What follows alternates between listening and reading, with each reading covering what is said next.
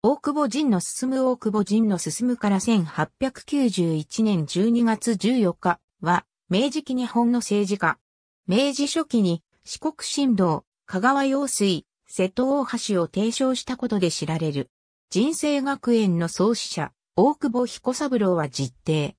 1849年10月2日、讃岐国民の郡最田上村戸川の大地主であった、大久保森屋の三男として生まれる。1872年5月埼玉村理員、その後軍理員等を経て、1888年に愛媛県会議員、翌年、香川県が愛媛県から分離したことに伴い、香川県会議員となる。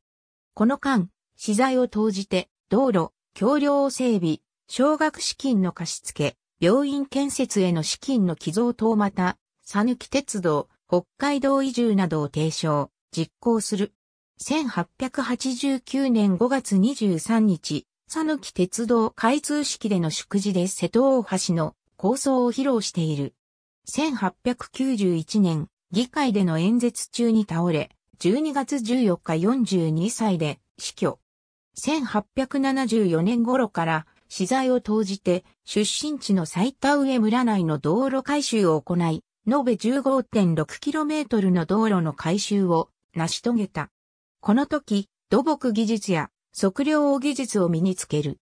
さらに1884年に四国振動の計画を立案し、道路建設では自らハンドレベルを持ち測量を行い、資材を投じて完成させた。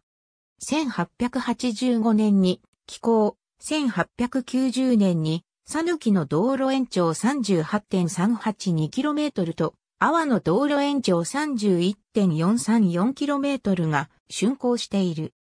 四国新道の最初の部分である、讃岐新道について、大久保の計画書によれば、道幅は島、両側の並木式が1軒、質抜け溝は幅5尺、深さ3尺、平均勾配は1軒につき2寸4輪としており、これは1885年の大上官二つで出された当時の国道規格にほぼ合致し、馬車通行も想定に含まれた内容としている。大久保が建設を推進した道路の一部は、現在もそのまま残されており、大久保の銅像が立つ中田戸郡琴平町の県立琴平公園の高台からは、旧多度津街道から琴平町の中心街である、香川県道208号大馬琴平海電線につながっている直線道路を望むことができる。讃岐鉄道開通の祝辞では、蒸気略歴の通り、四枠諸島を兄弟となし華僑連絡せしめば、常に風波の憂いなく南来北向き、東本清掃春時を費やさず、それ国立民服これより、大なる話、と、瀬戸大橋構想を披露した。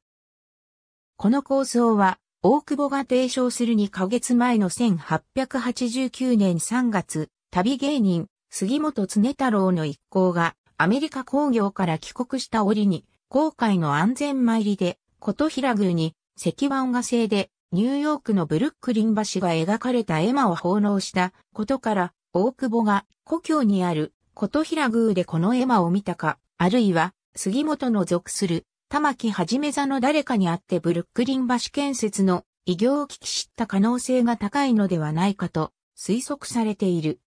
香川用水の計画を提唱した際に、笑わシャンスな百総年先は、最多の山から川船でして、月の世界へ往来するというドドイツを歌っている。瀬戸大橋構想は1889年、香川用水構想は1891年。まだ明治維新から二十数年しか経っていない時代のことである。父祖から受け継いだ財産は、ほとんどが麹金不足の穴埋めに使われたため、残された家族は三度の食事にもこと書いたという。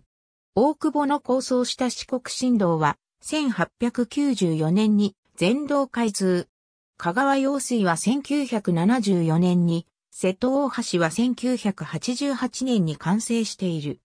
AB 竹部県一2015、P151、ABC 竹部県一2015、P153、ABCDE 竹部健一2015、P152、竹部健一2015、ピアニッシモ、154-155。ありがとうございます。